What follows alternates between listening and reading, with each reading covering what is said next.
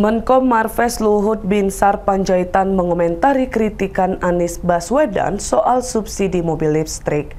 Luhut dengan tegas mengatakan bahwa program subsidi tersebut sudah melalui penelitian.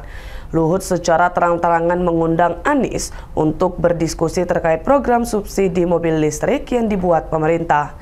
Dikutip dari kompas.com, sebelumnya mantan Gubernur DKI Jakarta Anies Baswedan menilai kebijakan subsidi mobil listrik kurang tepat untuk menghadapi persoalan lingkungan hidup.